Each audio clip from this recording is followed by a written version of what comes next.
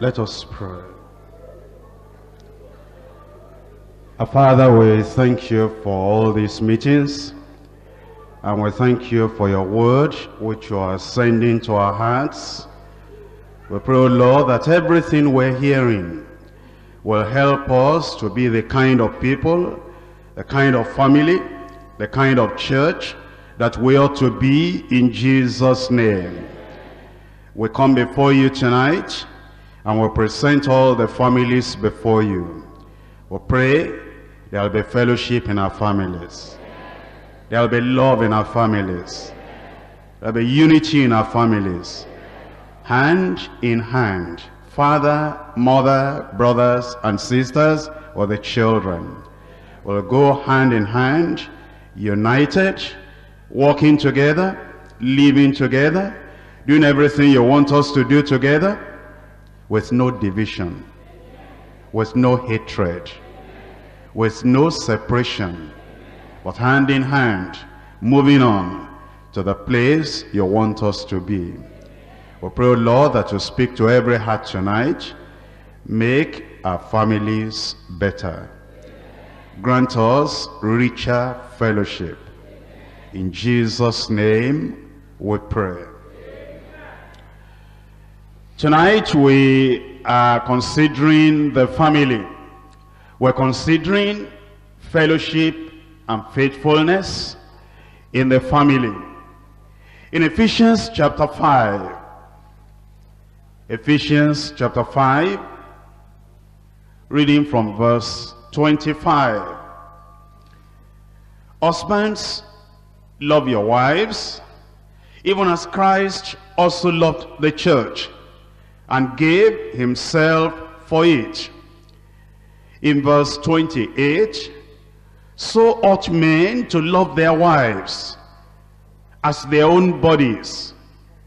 He that loveth his wife loveth himself. Chapter 6, verse 1.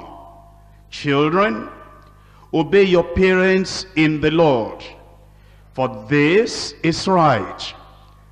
Honor thy father and mother, which is the first commandment with promise, that it may be well with thee, and thou mayest live long on the earth.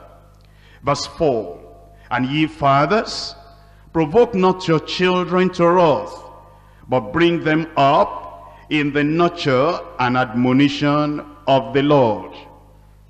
In Colossians chapter 3, reading from verse 16, Let the word of Christ dwell in you richly in all wisdom, teaching and admonishing one another in psalms and hymns and spiritual songs, singing with grace in your hearts to the Lord.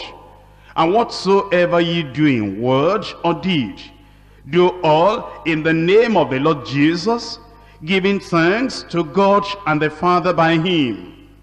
Wives, submit yourselves unto your own husbands, as it is fit in the Lord.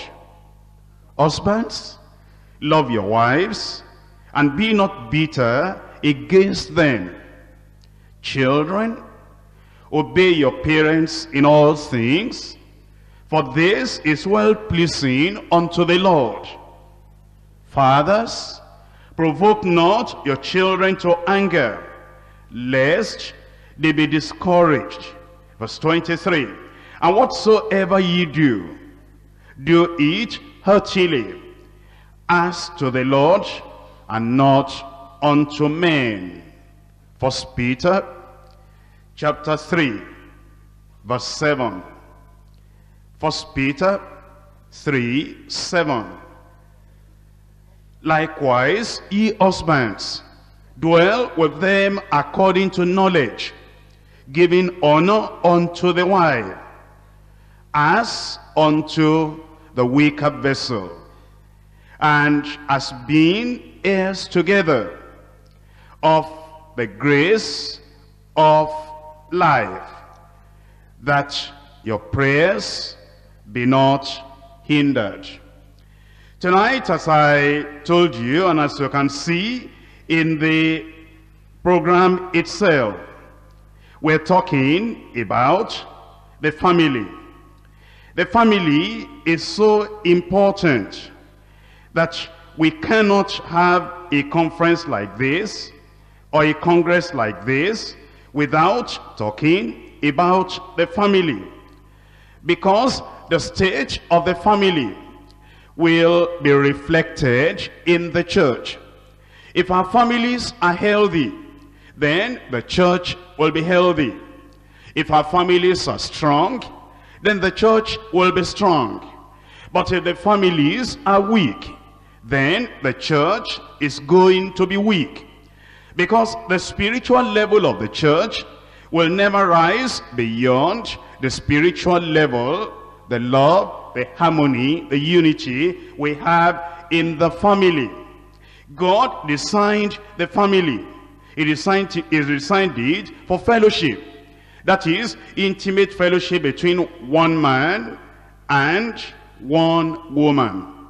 Thereby creating a good environment to raise godly children. And this fellowship together must continue so that each one in the family, the husband to the wife, the wife to the husband, the parents to the children, the children to the parents, each one will be the best he or she can so that the family will be what it ought to be. I'm going to uh, do some things tonight.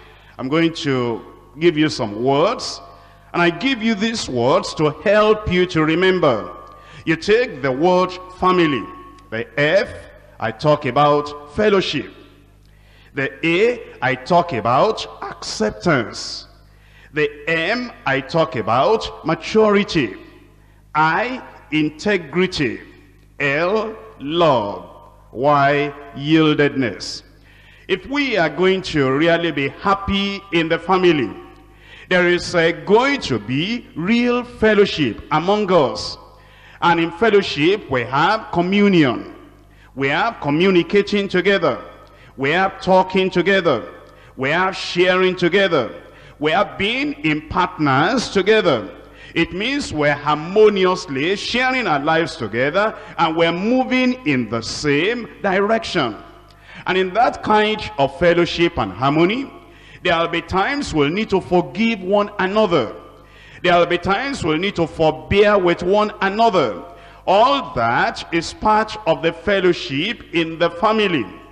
But we're not going to be able to do that except there is acceptance of one another. If the wife is trying by all means to change the husband in one night, in one week, to become the kind of ideal man that she wants, you're not going to be able to have fellowship in that way. And if the husband is always criticizing everything, you must be like this. You must talk like this. You must do everything like this. And you do not accept her the way she is. And then depending upon the Lord, upon the grace of the Lord, for the Lord to work on her. Give her time so that you accept her now as she is. And do not allow anything you don't appreciate to bring discord among you. Acceptance of one another. You'll see that our children too, when they are growing up, you'll find some awkwardness when they're growing up because they're little children. And you parents have grown up. You have grown up physically, you have grown up emotionally, and you have grown up in many areas of your life. And these children are just getting up and growing, going through the trials and the conflicts and the problems you have already gone through and you have overcome. You're going to accept those children the way they are. It is from that point of acceptance you'll be able to move on now to what you want in their lives and you children, if we're going to have acceptance, if we're going to have real fellowship in the family, you're going to accept your parents the way they are. And then you'll be secretly praying for them that God will make them the kind of the ideal father that you picture in your mind. The kind of the ideal mother you picture in your mind. If we are going to have a united family, there's going to be acceptance of one another. And then you know we're going to have maturity. It's maturity that tells you, that shows you how to act to one another.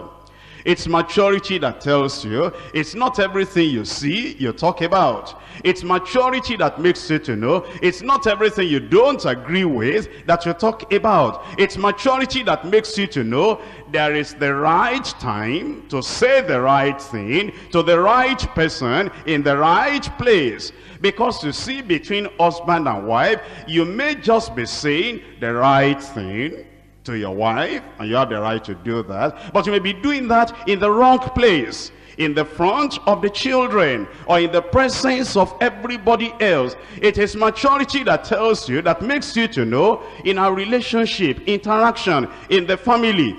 I know that I need to say the right thing. That's not enough. I'm saying that right thing to the right person. That's not enough. I'm saying it at the right time when he or she is disposed to listening to me. I'm saying it in the right place. You see, we grow in a level of maturity. Then you are going to have integrity. There's no way you can really raise up a family. There's no way you can really have a good family without having integrity. You have to be faithful. You have to know some principles, have some convictions, and because of the integrity you have, you just know, I cannot go outside that boundary. I cannot say that thing. I cannot do that. I have committed myself to this woman, and whether she is there or she is not there, integrity demands this is the way I will have to act. And because of my commitment, because of my promise, because of the marriage covenant we have gotten into, this is just the right thing to do. The same thing with the wife. You have to have that integrity. Of course, everything centers around love. Can we have a family without love? Can you spell family without an L?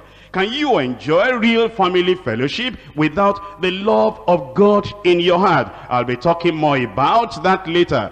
Then there is yieldedness. Uh, you know what I find? You find among the motorists, uh, you know, in town, I hope you don't do that. You find, um, you know, a motorist is coming and then you are also driving and you find that you are on the right lane. You find the other fellow is on the wrong lane. And then you say, look at this man coming in front of me. And then you look at everything. Remember all the codes of driving that you have. You say, I am right.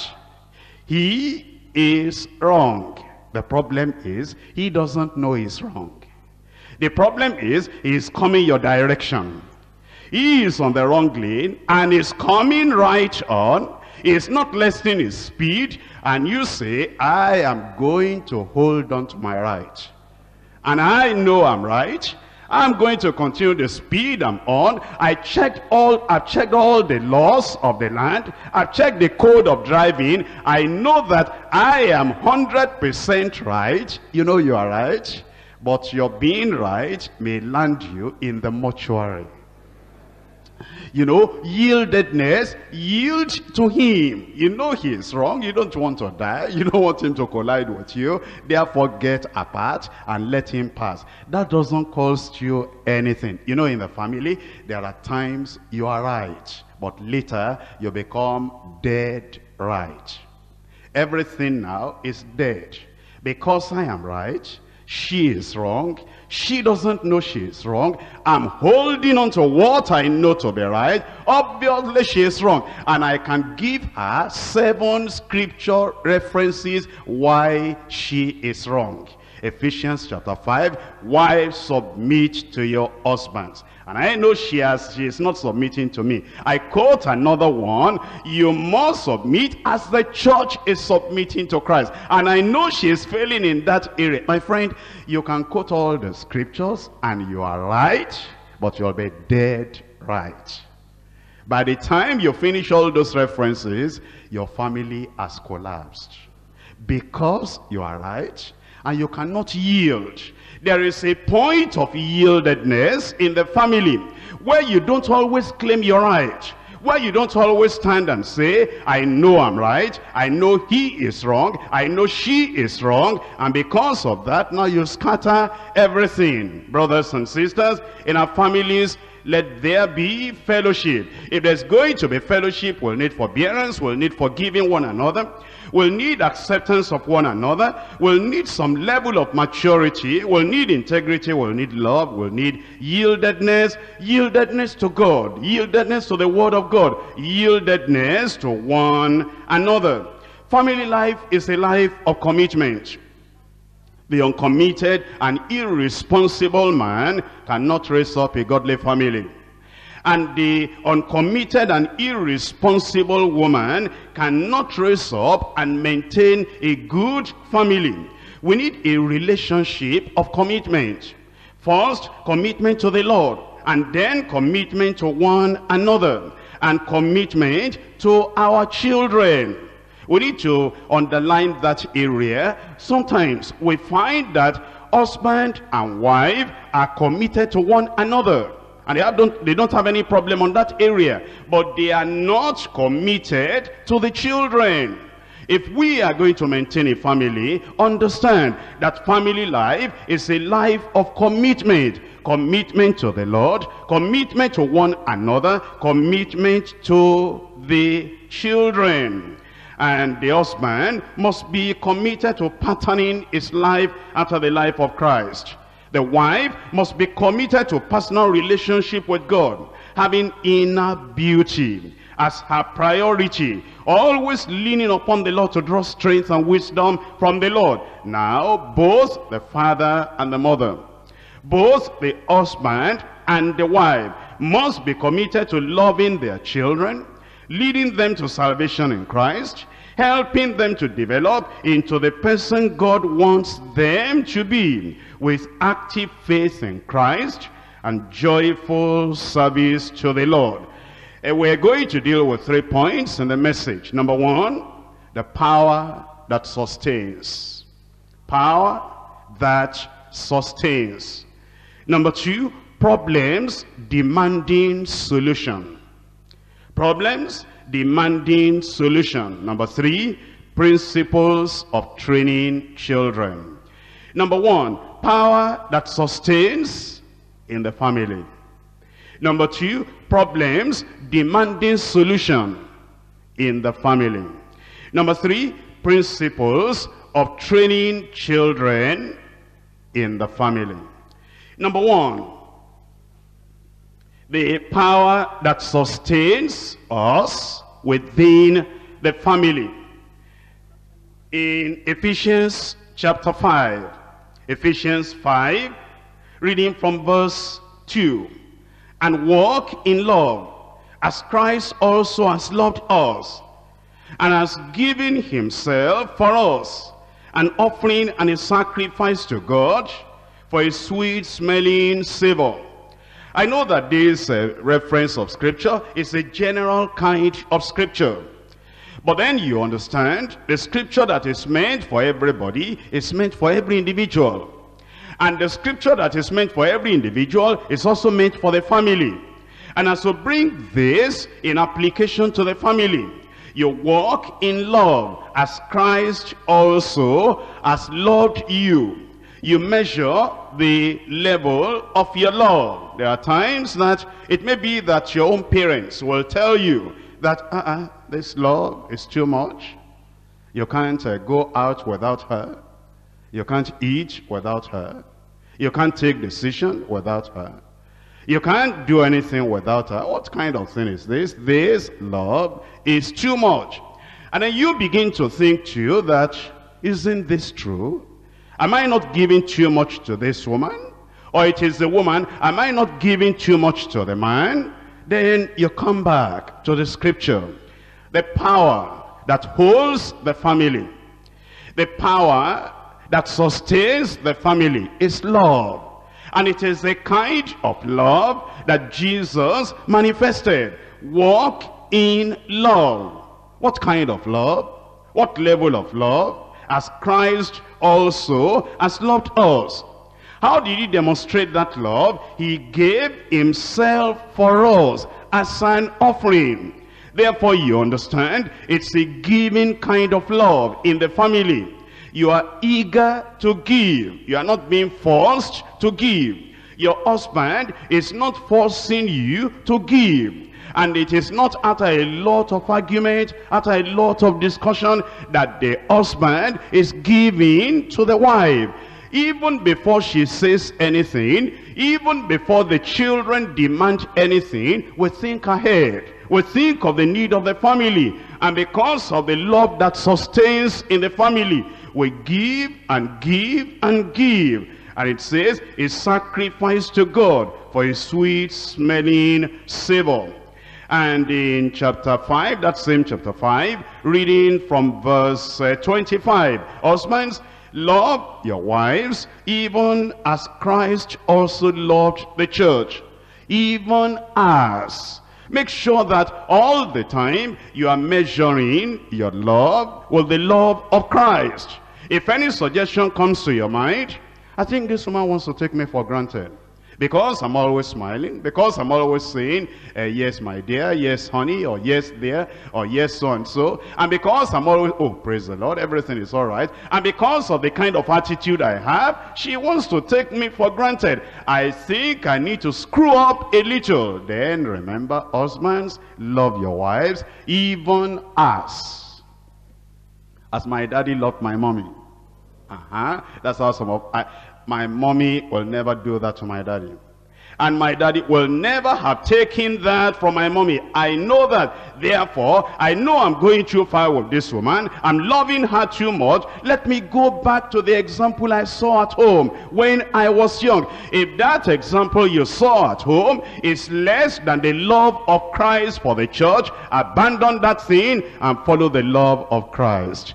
That's the standard by which we are to love our wives, that he gave himself for the church. In verse 28, so ought men to love their wives as their own bodies. You will not starve yourself, you cannot starve your wife. You will not disrespect yourself, dishonor yourself, accuse yourself, criticize yourself, even when you know your fault. I'm sure that everyone here, you know areas where you are telling the Lord privately, and uh, you are saying, oh Lord, I know I need to correct that area. I need to correct that area. You know things that are wrong that needs to be corrected about yourself. Do you write it in the newspapers? Do you broadcast it over the radio? Do you broadcast it over the television?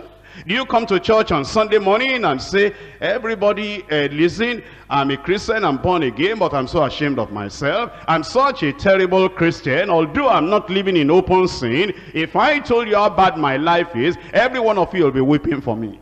do you do that?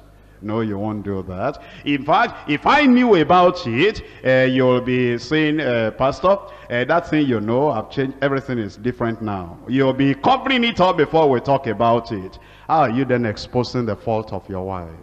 You will love your wife as you love yourself. Wives, the same thing. You will love your husband too like you love yourself. It is not love that is the power in the family that sustains the family. Now, you've heard of Ten Commandments, but listen up. I'm going to give you in scripture Ten Commandments that are related to love. Love within the family.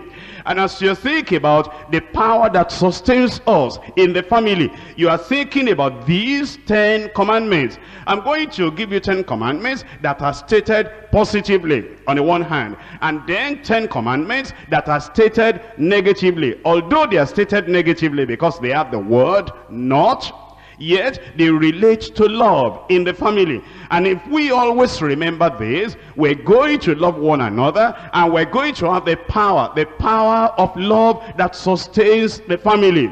Number one, care one for another. That's the love. Your wife is sick, take extra time, stay with her, give her some attention, take care of her. Even things she could do for herself. You'll just say, no, I'll do that. I'll boil the water. I'll wash those clothes. I'll clean those things up. Don't worry about those plates. I'll get her. I'll take care of them. Care one for another. Is she pregnant and therefore she is weak? Physically, care for her at such a time. And is your child sick and she needs extra attention? Care for that child with that extra attention at that time. Is your husband sick or downcast? He needs extra care at that time. Care one for another. When we just say, yes, I love her, Yes, I love him. It is the is a practical thing we do to our wife, to our husband, that shows that we love one another. And then in caring, there are times you will surprise your wife. She is uh, not expecting you'll buy anything for her. And of course, I know that you are born again uh, Christians. And you know how we hide some of our uh, stinginess under the fact that I am born again. You know, I'm so born again. All these people that are not born again, they are the people that buy new clothes at Christmas time. Praise the Lord. But now I am born again. I don't buy clothes at Christmas for anybody, but I buy for myself. And uh, you know all these unbelievers, that people that go to church uh, two times in a year, they go at Easter time and they go at Christmas time, and you will see them, they will, uh, they'll be killing, uh, you know, whether fowl or whatever it is, and they are eating jollof rice, uh, you know, Easter time, but praise the Lord, I'm born again. Now all those things do not matter to me, but you go to restaurant and eat jollof rice. You don't want to do it for your wife. You don't want to do it for anybody else, but you do it for yourself. Care for one another and show something and do something that this person will say, things are changing. My husband is manifesting more love. My wife is showing more care. Number two, forgive and be kind to one another. The first one is in First Corinthians chapter 12 verse 25. The second one, which is forgive and be kind one to another, is Ephesians chapter 4, verse 32. Forgive and be kind one to another. You see, before you do anything, am I saying what I want to say because of what he did yesterday that I didn't appreciate? Have I forgiven him? Have I forgiven her? What I want to do now, am I doing it indirectly to revenge? Or is it cleaned off cleansed off from my memory and it is not part of what informs my action now. Forgive one another and be kind one to another. Number three is in Romans chapter 12 verse 10. Write it down. Honor one another. Honor one another. Uh, you know, there are people that have the idea that uh, men should be honored by the women, but never the other way around. They feel that our wives ought to honor us. They ought to respect us. They ought to speak nicely to us. But we, we are men. And we don't have to respect them. We don't have to honor them. Now it goes both ways. You honor your wife. Your wife honors you. In fact, we're told in honor, preferring one another. Even the people of the world who don't have uh, the experience of being born again, but they have got some principles that have been affected by the principles of scriptures. They will say, ladies first. Now, you do that in your office. You are going in and, uh, you know, a lady wants to get inside the gate you. Then you stop. You say, ladies first. You allow her to pass. The problem I have with you is you come back home and you never remember ladies first. You eat all the meat in the pot. You drink all the tea there is to drink. Everything good in the house, you take everything. And your wife says, what am I going to have? Manage yourself. Now, ladies first, honor one another. It is that attitude of honoring one another that will help us to maintain a good family. Number four, serve one another. Galatians chapter 5 verse 13. Serve one another. Do you ever serve your wife?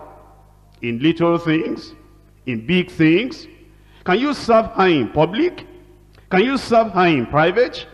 Can you serve and do something for her? Just, just service, just service. Serving her. Serve one another. Now you say, I'm not talking about the wife. The wife is always serving the husband. You know that in our culture. The problem is the husband coming up now with the grace of God in his life, being able to serve. Then, number five, consider one another. That's Hebrews chapter 10, verse 24. Consider one another. Number six, bear one another's burdens. Galatians 6, 2. Bear one another's burden. And then number seven, have compassion one on another. Be compassionate. Compassion will affect your language. It will affect even the look on your face when you are at home. Compassion will affect the way you, the, the pronunciation of the words at home. Because you see, there are ways of talking. When you have compassion, when you have mercy, when you have love, that compassion, that love will be reflected in the tone of your language. And then number eight, edify one another. You said, but how about the reference for have compassion on one another? That's why I told you before, not today and not at this time, by concordance. Do you have concordance? Okay, whichever one I do not give you, you'll go back and check up in your concordance. Uh, but for the sake of those who may not get that concordance this week, First Peter chapter 3, and in verse 8. First Peter 3 verse 8. Now, edify one another. Edify one another. First Thessalonians chapter 5 verse 11. Submit one to the other. Ephesians 5 21. And pray one for another. Pray one for another. It will surprise you to find husbands that will not pray for the wife. My husband, I don't understand this uh, sickness that I have. You're always sick. That's what we're saying. You have not developed your faith. Every time I'm sick, I'm sick, I'm sick. My brother, but you pray for other people in the church. You pray for the people that say they're sick. They came before, they came before, they came before, and they are coming now, and you still pray for them. Pray for your wife. And then it may be you, the wife, that has developed your faith. You pray for your husband as well. Is there any particular peculiar weakness in the life of that man, in the life of that wife, in the lives of those children? You will pray one for the other. And our children too. Here is where our children miss it they feel that, well, it's daddy, and therefore he knows all things, he can do all things, everything is okay with daddy and it's mommy. Mommy, it's all right. She knows the scripture. She's been born again before we were born into the world. And when daddy or mommy has any problem, the children will not know. They too, they should pray for the parents. We pray for our children. Our children pray for us. Husband prays for wife. And wife pray for husband. That is how we can maintain the love in the family. I told you that there are Ten Commandments too that are stated negatively. Let's look at them. Number one, please not yourself. That's our problem in the family. I want to please myself. You want to please yourself. The children want to please themselves. And we go in different directions. But to see if we love one another, it says, please not yourself. Romans 15, 1. Number two, defraud ye not one the other. Defraud ye not one the other. What that is saying is, there are some things with the man that actually the man possesses that the wife needs. You are adults. And I, when I say that way, you ought to understand. There are things that the wife possesses that belongs, that belongs to her, but will be for the good of the husband. Therefore, defraud ye not one another. Of course, there are things that the parents possess, and they are for the good of the children. Defraud ye not one another. Don't say, it's mine, it's mine, it's mine. It's not yours. It belongs to the family. The moment you got married, Nothing that you have belongs to you alone like a bachelor. It belongs to the whole family. Don't touch that. Don't drink of that cup. Don't go that direction. That's my thing. Don't uh, use nothing. You can't do that anymore. You will not defraud one another. You will not cheat one another or deprive one another of what is in your hand, what's in your possession, which is for the good and for the pleasure of the other one. Number three, grudge not against one another. That's in James chapter 5 verse 9. Grudge not against one another. And uh, in number four, judge not, condemn not. Luke chapter 6, verse 37. Judge not, condemn not. Number five, be not bitter. Be not bitter against your wife. And you wife, don't be bitter against the husband. You understand? Uh, families will live together. Husband and wife are living together. And because you are living together, once in a while you'll see some things you don't approve of. You'll see some things you don't fully appreciate. You will not be bearing grudge because of that. You will not be bitter because of that. There should be a constant muting that erases all those things you don't appreciate every moment and every day. Number six, speak uh, the other one is Colossians 3.19. Speak not evil one of another. Speak not evil one of another. Your children will never hear you speak any bad thing about your husband. It may even be things that are very, very obvious. That even the children themselves, as they are growing up, they've seen that, that uh, their father has that peculiarity, has that uh, maybe deformity, or ask that whatever it is, you will never open your mouth and talk to the children and not even in passing, never. The same thing, the husband, uh, looking at the wife. There may be a peculiar thing about the wife. Even the children, as they are growing up, they may see that, well, it appears that that's a weakness on the side of mommy that we're praying about. But you will never talk about it, not even in passing, not a slight comment about it you will not speak evil one of another whether she's there or she's not there whether he is there or he is not there the only person you can speak to will be speaking to the Lord. And if God gives you the wisdom and the love and the method of passing it across, you speak to the person himself. My husband, I think uh, I count this as my problem too. We're going to take it to the Lord in prayer together my wife, I think uh, this is it's a challenge to me. I know it embarrasses you. I wouldn't say it embarrasses me, but I think I'm going to take the challenge this new year and take this problem as my problem, and I'm going to get on my knees and do everything possible. The problem will be removed. And so you will not be speaking evil of one another. And then uh, number seven, revenge not. Revenge not. I'm not here to teach you how to revenge, but already you know there are husbands, they have their way of revenging. He, she denied me of that, all right? If I cannot help you, that's all right, but I know I'm waiting for her. She is going to demand this other thing from me, and when she comes, then I will remind her, aha, you know how to demand something from another person. When it comes to your turn now, you'll be saying, no, I am sick, no, I am weak, no, I don't have time now. Here we are now. Until you two, you can bend and give me what I want. Don't come and ask me for that kind of thing. Don't revenge. Isn't that revenge? She did that to me, I'll do it back to her. He did that to me, I will do it back to him. Revenge not. Now, number eight, revenge not is in uh, Romans chapter 12, verses 17 to 21. Number eight may surprise you that I'm going to quote this kind of reference for a believer. And it's in uh, uh Proverbs chapter 26 and verse 4. And maybe you have never seen the reference. I'm going to open it and read it to you. Proverbs chapter 26 and in verse 4. If you get there before me, don't read it because you may start laughing if you read it. In Proverbs chapter 26 and in verse 4, it says, Answer not a fool according to his folly, lest thou also be like unto him. Somebody is laughing already.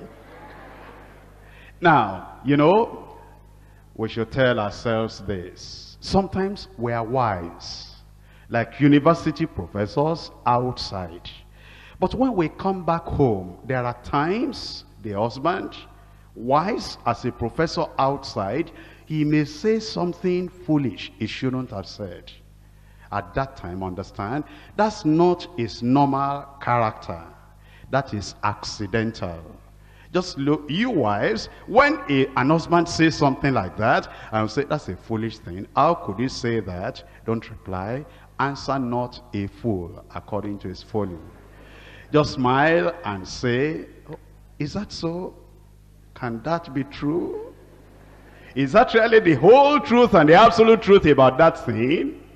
Well, the Lord knows the best. Then go to another topic. Answer not a fool according to his folly. And sometimes it is, uh, you know, it is the wife that uh, is uh, saying uh, something. And you know, normally she is wise. Normally she is intelligent. And she doesn't say this kind of thing every time. But because of the pressure and because of the depression and because of the peculiarity of that time, maybe just discouraged, fed up, then she says something and uh, you know that she shouldn't have said that. That's like a foolish uh, kind of statement. Don't say you are a fool. You can never say that. You just uh, look at her and say, I'm trying to understand. I think the Holy Spirit will help me to understand everything. I'm learning every day. And what you have said now, maybe I will learn the significance and the meaning of that before tomorrow morning. Then you smile, go to another subject. And do not stay on that thing. If we're going to maintain love in the family, answer not a fool according to his folly. Number nine, follow not that which is evil.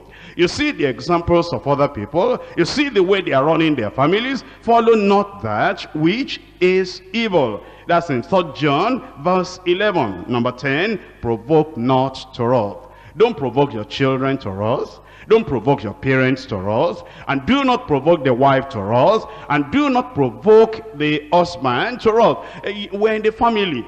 And you know there is a kind of thing, whenever you say it, the wife feels offended. You've learned by our living together, she just doesn't like that kind of language, that kind of comment. Avoid it totally. Remove it away from your vocabulary. Never say that thing that will provoke your wife or provoke your husband or provoke your children to wrath. You know, for example, maybe your child has a particular peculiarity. In your own way, you are trying to correct that child. You don't want that child to behave in that awkward manner. And then you have a way of saying it. You will say it, and that thing is acidic, the way you say it. It's cutting. It burns the way you say it. It gets into the brain, into the mind, disorganizes that child the way you say it. When you realize that the way you are saying that thing to that child is not helping the child, although you are trying to correct something, you will not say that way again. You'll find a better way, a loving way, that will still say it in a corrective manner, but that will not provoke that child to wrath. Well, before I leave point number one, you know that the Bible says very clearly that once we, we have got married, we are joined together. I want you to now follow through on that word, joined together. That you'll find in Matthew chapter 19 verse 6. Husband and wife joined together. For this cause shall a man leave his father and mother and be joined together with his wife. They are no more twin, but they are one. What's the implication of being joined together? It means we dwell together too. If you are joined together, dwell together. That's um, Psalm 133 verses 1 to 3. It means to grow together. You grow together. You start your life together. Then you are growing together. It means also you walk together. And two cannot walk together except they be agreed. And it means you are inheriting together. You are inheriting eternal things, spiritual things together. Let's make sure that we have been joined together and then as a result of being joined together we're dwelling together we're worshiping together and we're doing everything together. Actually we do not have a mind of i'll keep my things to myself you will keep your things to yourself. We live together dwell together walk together inherit together do everything together. In uh, psalm 133 behold how good and how pleasant it is for brethren to dwell together in unity. But what hinders us from dwelling together, dwelling together in unity? That leads me to point number two. Problems demanding solution in the family. And here is uh, the place we have to be factual. We're among ourselves. We're believers here. And many of us are married. And you know the problems we have in our families. We need to identify these problems. And then we need to see what solution the Word of God has for them. I do not have too much time in my favor. Because of that, I'll just run through first part of the problems relating to the wife. Wife, just, uh, you know, keep cool. Uh, don't get angry as I run through this one belonging to you. I'm doing that for you first so that I'll treat the one for your husband later. So I can get their attention. Because if I talk about them first, they're not going to listen to the rest of what I'm saying. Now, uh, you wives, are you ready? Now, you see the problems we have. We transfer our domestic duties to maids. You remember? It's not the maid that married the man. And the maid is there to help you, not to take over from you. When last did your husband eat the food you actually cooked yourself? Is it the maid that now does everything? The inability to keep the maid in her place. Allowing the maid, because of our laziness and carelessness, to take over almost completely. It ruins the family. Therefore, take your place and put the maid and the helpers in their place. Number two, too much attachment to the mother. That is, your mother who raised you up before you got married, you are still so much attached to her and to your own family members that sometimes you'll even be spending for yourself and spending for members of your extended family without even informing your husband. That hurts. Your husband will not appreciate that. And the Lord does not appreciate it either.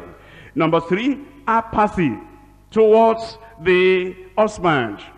Apathy towards your personal appearance. You know, sometimes you'll see a beloved sister. She is normally nice. And God has created her beautiful. And you know she is actually neat and wonderful when there is a special occasion. If we were going to have IFL program, International Friendship League, see our wives and see how they clean up and they make their hairdo and they dress very well and they go to the uh, they go to the function and then the husbands will be wondering uh-uh so my wife can be this neat so my wife can be this well dressed but when we get back home that kind of neatness is no more there. We feel oh he's my husband and he knows me very well and therefore uh, the clothes that already has the odor and the smell of onion and pepper and the stain of oil and everything we just we just uh, you know have it on us and come to the bedroom and get everywhere and then we say my dear uh, this kind of dressing can we change it ah, what's the matter is are we not in the house are we going to church is it only when we're going to church we dress well? Look nice to your husband. Amen? That's part of it. Don't be apathetic towards your personal appearance together with your husband or towards spiritual things. Dirty home environment. Inability to tidy up the house and to prepare good meals that the husband and the children will really enjoy eating. You see, that's apathy. We just do things in a nonchalant way. And we do not care. We're doing something for somebody that's important and significant in our lives. Or it is carelessness. Or it is not making yourself, uh, you know, talk well and do things uh, right with your husband. Now, let's remove that kind of carelessness and apathy and look the best way you can to your husband. I don't mean worldliness. There is a world of difference between neatness and worldliness. Isn't that so? Our sisters, did you get the message? Okay, I hear your voice now, you're still there. Now, number four, resentment. against something you don't appreciate in the man. Resentment that leads to carelessness and casualness in your relationship. You just become careless and casual. Because there's something you don't appreciate in the man, and you've been thinking that he will change it, and he has not changed it. Number five, loneliness and self-pity. You feel lonely. And it may be something that the husband ought to correct because it's due to separation or, is, or isolation. And it may be due to lack of involvement with the husband's life and with the interests of the husband. Not having enough time with the husband to share on family matters and to plan for the family. But instead of looking at the problem and seeing how you want to address the problem, you just uh, say, well, he doesn't have time for me. He doesn't know that he's a married man. I don't know why he even got married. And then you get all ruffled and you are not thinking how you can bring a positive solution to that problem of loneliness. It's not self-pity that will solve the problem. Then number six is lack of control on the tongue. Lack of control on the tongue. Complaining, criticizing, being moody, angry, tensed up. Not making the home a place of joy and rest. There may be more problems, but those are some of the problems from our wives' sides. That I'm believing the Lord, the Lord will give you the grace to put right. Now, the men, are the men still there? In body and in spirit? That is, you are totally there. Do you want me to talk about the problems? Or do I... Tomorrow we'll go to halls 8, 9, and 10. And in between us, we'll share it together where these our wives will not hear about it. Praise the Lord. All right, I think uh, the women would like me to talk about it. Now, problems with, with me. Problems with us who are men, all of us together now, nobody exempted. Are you convenient now? Now, number one is the lack of love. We are harsh. We rule the home like soldiers rule their barracks. We command. And we tell them what to do. We don't give any reason. They must do it. Obey. Obey first. Never complain. You see, when we act like a dictator in the home, it doesn't help our family. Let's change our language. Let's change our manner. Let's change the approach. Let's be soft. Let's be loving at home. Number two, selfishness in spending. Spending to satisfy greed rather than need. We spend on ourselves. And we do not allow the wife to have access to what we call the joint account. It is no more a joint account.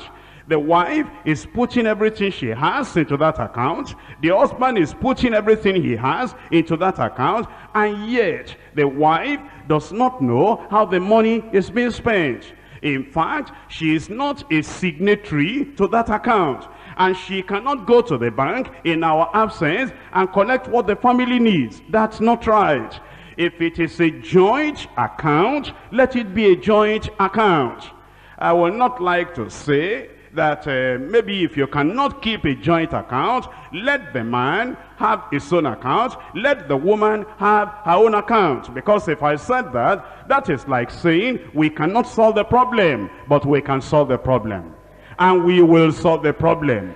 But we shouldn't make the joint account something now that punishes the woman.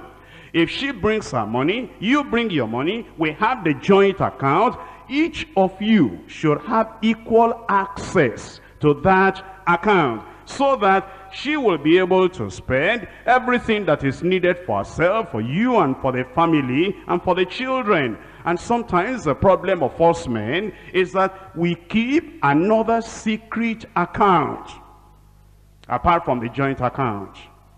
And the only thing the wife knows about is the joint account. But there's another account that you will go and draw from, and the wife doesn't know anything about that. That is unchristianly. That is selfishness. And that thing ought to be corrected in our lives. Then number three, unwillingness to leave the father and mother and the family members and to cleave to your wife. Cleave to your wife. Remain with your wife. We have the problem of neglecting our wives for our friends. It's like uh, you have more attachment to your friends than you have to your wife. You have more interest in your friends than you have in your wife. Or it may be your profession that is taking your time. You have more attachment and commitment to that business or to that profession more than you had to your wife. That must be corrected and will be corrected by the grace of God. Supporting and spending for extended family members while we're neglecting the relations of our own wife. All the money we have, if there is any extra, we're spending on our own extended family. They're always coming. My uncle, my cousin, my brother, everybody, even those who are not related to us, once we're rich, we're their brothers. And they are coming and coming. And the relatives, the relations of your wife, do not have that opportunity to come to your wife and get anything. And it is her money and your money you are spending on your own people. Now, that's not a Christian attitude. Number four, lack of communication. Failure to talk. There are times there's just a blackout in the family. The husband won't talk. The wife won't talk. Everything is quiet. And we're avoiding one another. She walks this way and he walks that way. If the wife was singing choruses before the man came in, once the man comes in, the woman will stop singing choruses. If anybody was laughing, jumping, rejoicing before the man came in, once the man came in, what's making everybody happy there? Children, no books to read. Wife, no clothes to watch. Every day is Christmas Day. All this noise of singing, let it stop.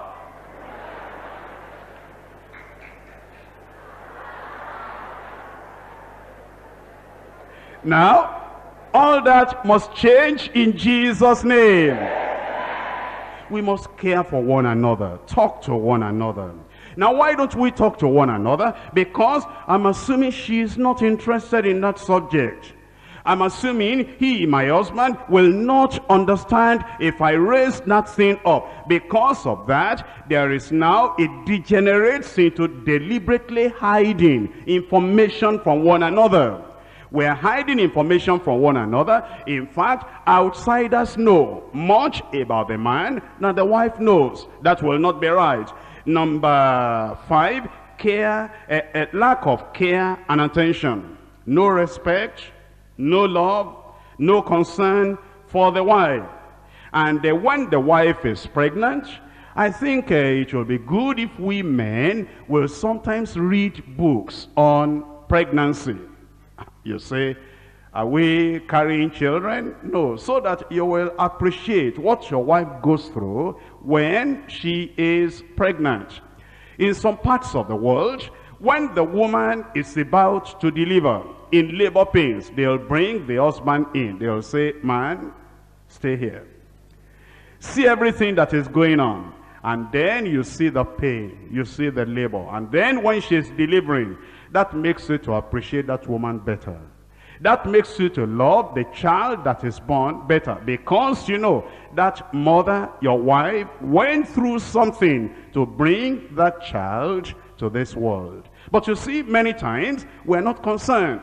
She's having pain, she's sick, or she's weak, or anything is going on. We don't understand. we must have attention and care when our wives are sick. Or maybe they are not sick physically. They have some problems that we need to look into. Number six, lack of appreciation. She never does anything well. Always we're criticizing. Every time we're finding fault. There is no understanding that the wife is a weaker vessel. That she can be tired. That she can be discouraged. That she can be depressed. and that uh, if uh, is too much under strain and stress, it may affect her mind, it may affect her brain. Therefore, you will take care of her. I'm going to ask you, when last did you stay in the hot kitchen and cooked a meal as a man? You think, and you say, I've forgotten since I got married. When last did you sit down and then with ordinary soap and uh, water wash the clothes? You say, oh, since I got married, she's there. Once she's there, why should I do that? But you realize she does all that. She walks up and down.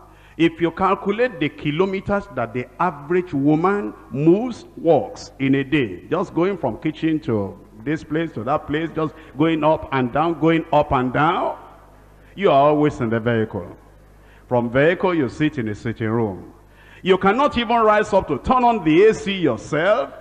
Marian, are you there? Come and uh, turn on that AC for me. And then you put your feet uh, there up, you relax, and then you are reading the newspapers. Marianne, how long is it going to take you for this meal to be ready? I'm sorry, I'm uh, hurrying up, I'm hurrying up. All right, before you finish, uh, turn on this. Uh, say, AC is uh, becoming too cold for me. Can I have a cup of cold water to drink there? And, uh, you know, the woman is just walking up and down, walking up and down. And you never realize that she is tired. And the problem is, you will never buy washing machine to wash the clothes. And you will not buy the things that will make it easy for that woman to be able to do the work she has to do in the house. And then after you have finished in the night, you have eaten, she is back in the kitchen washing things, taking care of this, putting this all right, putting this all right. For one hour, two hours, after you have finished your meal, she is still busy. She is the one to get up in the morning, and she's the one to uh, sleep uh, the latest in the family. She's the one that does everything. We never say thank you. You know, the woman brings the food on the table. You look at it and uh, you say, is this all? And then you, you eat. You won't even wait for her so you can eat together. What kind of Christian are you? Saved. Don't let them hear. If we are children of God, things must change we must make sure that this kind of criticism and fault finding, it stops in our family and it will stop in Jesus' name. Number seven, callousness in attitude. Preventing the husband from listening or responding to the wife's needs. The, oh, you must understand, women don't talk the way men talk. Women don't say what they have in mind the way men will say what they have in mind. In fact, even if they wanted to do that, they do not have the chance to talk the way we talk. Therefore, you may find that uh, your wife is talking a particular way. No, please, if you want to talk, talk. This kind of uh, emotional uh, kind of talk, I don't want at all. You have not studied. Women are emotional. And when you married a woman, you married emotion. And therefore, when she talks in her own way, please don't complain again. I don't like the way you are talking. That's the way God made her. Let her express herself. Give her freedom. Listen to her. Show that you are paying attention. Show that she is significant and she is important and she is a person that is worthy of being listened to. When you listen to her, even if you don't do anything, if you are not even able to solve the problem, just listening and smiling and nodding your head and saying, now I understand. Oh, I'm sorry. I didn't understand this all along. See how long it has taken me. We have married for five years now. And see how a dull I am. I am just understanding this for the first time. The woman is satisfied. Even if you don't solve that problem. You mean you understand now? You mean everything is all right now? What can I cook for you? How can I just make you happy? What I'm telling you is, women like to be listened to. Give time, create time, and listen to your wife, and you'll find that your family will change. External influence from in-laws and so-called friends must not be allowed to affect our attitude to our wives. Number eight, no active role in the training and the spiritual upbringing of the children. That gives problem to our wives. We leave everything to them. It's like uh, read the Bible to the children. That's, your area. Teach uh, the children how to pray. That's your area. Teach the children the songs that they need to sing. That's your area. Um, look over with them in their chemistry, English, literature, whatever they have to learn. Look into their school work with them. That should be your area. We leave everything for the upbringing of the children. We leave everything to the mother. And that is not right. Everything weighs too much on the woman. And the woman is carrying greater load than the man is carrying and she is the weaker vessel. It's the weaker vessel that is carrying the heavier load. It's a stronger man that is carrying the lighter load. It shouldn't be like that. We should reverse it and change things around. Then number nine, this is serious. Joblessness. But it's not just, just joblessness alone. It is joblessness and no serious effort to be gainfully employed. You are jobless, your wife is working. It's your wife that is paying the house rent, providing for the family, and you are not even making any serious effort at all to be able to provide for the family. And she's carrying the burden and the responsibilities of raising a home alone. That does not help. Then number 10, making delay in childbearing an unpardonable sin of the wife. What I mean is this, you have married. And now there is delay in childbearing. You have not gone to check up in the hospital whether the fault is your fault biologically or whether the fault is her fault biologically. But because there is a little delay in childbearing, every conversation we have in the family terminates with, eh, oh, you know how to talk. Eddie, you need this, you need this. When are you going to give us a baby in the family? And then we finish that, and we're talking about another thing. Ah, it was uh, wonderful today. You know, we went to church, and it, the, the service was beautiful. Everything was so nice. But the reply of the husband, eh, it was so nice. Didn't you, sister so-and-so carrying her baby? Didn't you sister so and so carrying a baby? Every conversation we have terminates with, where is the child? Is she the one to create a baby? Is she the one? Doesn't she want a baby? She wants a baby. And it may even be your fault biologically. Therefore, it is something we leave in the hands of God. We're going to pray about. And when we pray about it, I believe that God will change everything in Jesus' name. Well, I've talked about uh, the problems. Uh, there are solutions. Praise the Lord. And the Lord himself gives us solution. The solution is, number one, love one another. And know that because we're redeemed, we can have sacrificing love for one another.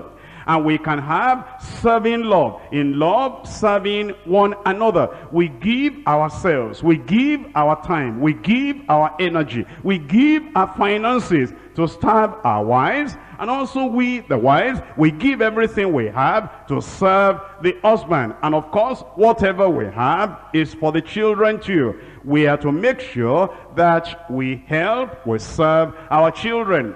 Instead of putting a great load on the shoulders of the woman, our love will always be seeking ways of lifting up the load that she is carrying. We may sometimes need to even stay with the children to allow her participate in a special program. Here is what I have in mind. Uh, you know, sometimes uh, we, we, we have a lot of privileges and opportunities as men. And, uh, you know, I want to go to an evening meeting, I go, and she has to take care of the children.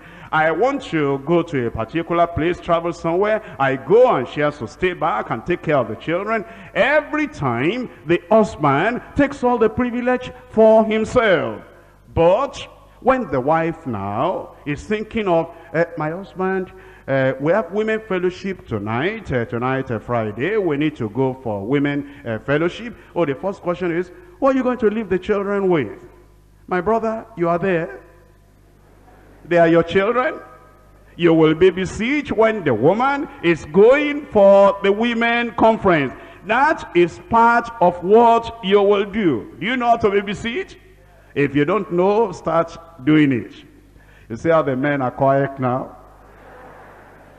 Will you do it? All right. Women, when you come back next time, tell me, let me know what's going on.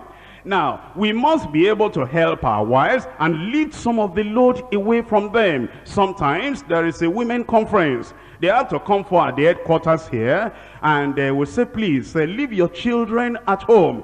And then the husband will say, my wife, you want to go for that conference? Remember the children, but you are there. You are not coming for the women program. You will stay with those children at home, take care of them, how will they eat? The kitchen is there, go there. How will they be clothed? The clothes are there, put it on the children. You must know how to take care of the children in the absence of the woman so that the woman will be free at least to be able to have some uh, breathing space maybe even when there is no conference at all when there is uh, no women fellowship at all and we just say can we take one day in a week and we tell the children, we say, children, uh, our mommy has been working too hard and she's getting tired. We're going to take one day off her. And she, it's going to be a free day, holiday. And therefore you children, daddy and children, uh, will uh, do the cooking and do everything. And every one of us, we're going to serve one mommy one day in the week. After all, she's serving us every time. Wouldn't it be wonderful? A turning around of things. If our families can now begin to think about lifting the load, helping the women, helping the wife, so that life will become easier for the uh, wives. And of course, make finance available. Everything you have, if you die, you are not going to take those things away with you. Make that money available. Let the wife know everything there is to know while you are still there together. I believe that as these things are corrected by the grace of God, things will change in a wonderful way in our families in Jesus' name. Let me very quickly go to point number three. Our time is gone already. It is the principle of training children in the family. There's a familiar passage that you yourself that you know in uh, Proverbs chapter 22 and verse 6. Proverbs 22 verse 6. Train up a child in the way he should go. And when he is old, he will not depart from it. Let us make sure that we train our children. It will mean from the earliest age. You see these children as the gift of God to the family. And as a gift of God to the family, you want to take care of this gift because their souls belong to God. All souls are mine. And he has commanded us to teach them and to lead them to salvation. If they perish through our negligence, then God will require their blood at our hands. The question to you is, are your children born again? Do they know the Lord? Do they love the Lord? Are they serving the Lord? Do they appreciate the scriptures? You will teach and train your children uh, to begin to serve the Lord and to begin to uh, love the Lord from the earliest age possible. Read for yourself later Isaiah chapter 28 verses 9 and 10. How do we, what do we teach them? Let me just give you some brief outline. Number one, inculcate an early reverence for God in the minds of those children when they are still very, very young. In fact, before they even understand language fully, you will inculcate in them reverence for God. Number two, teach them from an early age the value of the scriptures. Take care of the Bible. Take care of scriptures. And teach them the value of the scriptures. Let them know that the Bible is the word of God and that it is the best book in the world. Number three, reveal the love of God in Christ to them. And tell them that Jesus died to provide salvation for all who repent and believe. Prayerfully influence them to love Jesus. When you are telling a child, you want a child very, very young to become born again to give his life to the Lord. You cannot do it the way adults uh, will respond to the gospel. There is a limit to the understanding of that little child. And you will not make that child to, uh, you know, talk about uh, sin and all the details and everything. Of course, if things are wrong, that that child that has got to the age of accountability can understand, you'll say, this is wrong. Jesus doesn't love that. He loves us. He doesn't love those bad things that we do telling lies and this and this and that. Make it very, very simple. And then you say, you'll tell the Lord that you know that the Lord does not love those things. You offended the Lord. You say, I'm sorry. I will not do that again. I know that you have taken my punishment away. You have taken the sin away because you died for me. In a way they can understand. Make those little children understand. But don't paint a bad picture. What I mean is, don't talk about the crucifixion of Jesus Christ and give all the details of the crucifixion. Instead of that bringing faith in the heart of the child, it's going to scare that child. And don't talk about a hell when you know there is punishment. When you offend, your daddy will punish you because that thing, he doesn't like it. Our Father in heaven too, he doesn't like it when we do something wrong. Therefore, he will punish us if we continue in those bad things. But don't give the details of hellfire how the people will burn for years and years. If you put one finger in the fire, you know how it hurts. Don't, don't say that. Because that child will be so scared, he will not know how to even believe. There are things that will be reserved for the mature age, for the child to understand. Reveal the love of God in Christ and show that child how Jesus died for him and how that child can love the Lord and give himself to the Lord. Number four, demonstrate before those children the practice of prayer. And let them develop the habit of praying when they're still young. Just make them understand, this is what daddy and mommy, this is what they do. And whenever any problem arises in the family, if it's any problem with the children, they have lost uh, something, or they are disappointed, or they failed a little test, whatever it is, that they count a big problem lead them to the Lord in prayer. Oh, say, we're going to take this problem to the Lord. Even if you have the solution, even if you know the solution to the problem, make them develop the habit of praying. You'll say, my child, this is why we're Christians, this is why we believe in the Lord, this is why we're in a Christian home. Every problem we have, we take it to the Lord in prayer. And that will help that child to develop the attitude of praying. Number five, set a good example before them.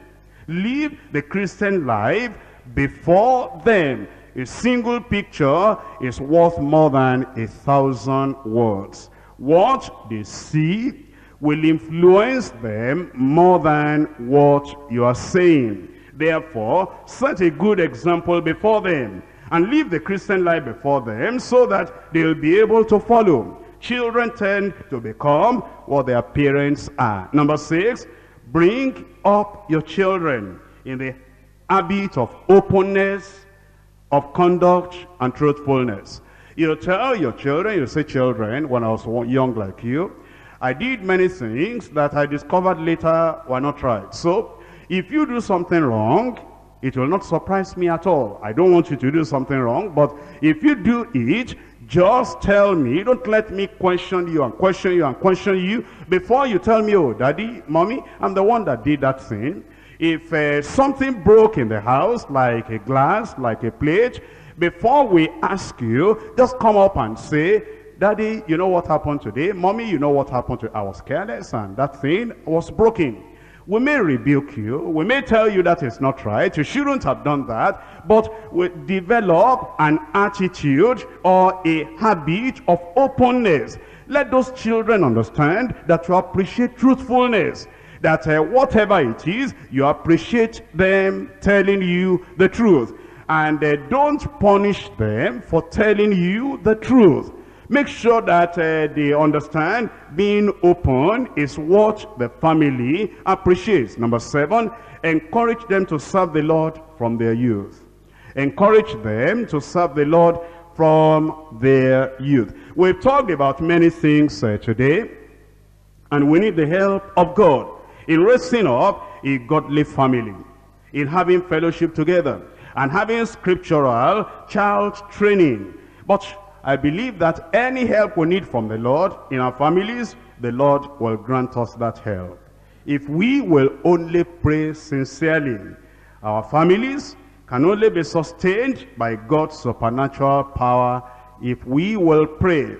There is no time now, what I would have said, maybe I should have done this uh, before I started the preaching. I would have said that husband and wife should get together now and then just for a minute or two, talk together, forgive one another, and let the past be totally past, and then pray together, just there uh, together. And uh, if you are together, please, uh, you will do that. If you are not together, you will do it alone now. The wife will do it alone now. You know my case too. I'm here.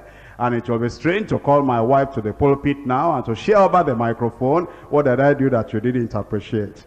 And then you'll be hearing, you know, we'll be washing our dirty clothes over the microphone. Well, we'll not do that. Uh, but, uh, you know, after this uh, message, I'll get back home and I, I would say, did you listen to that message?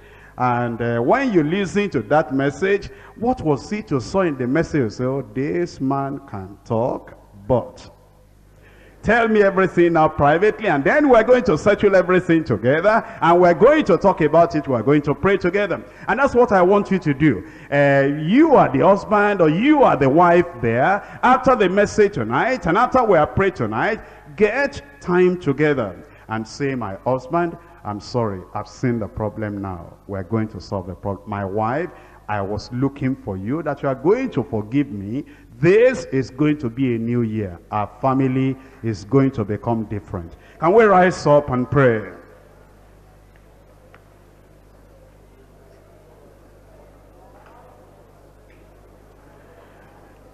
Let's talk to the Lord to make our families better.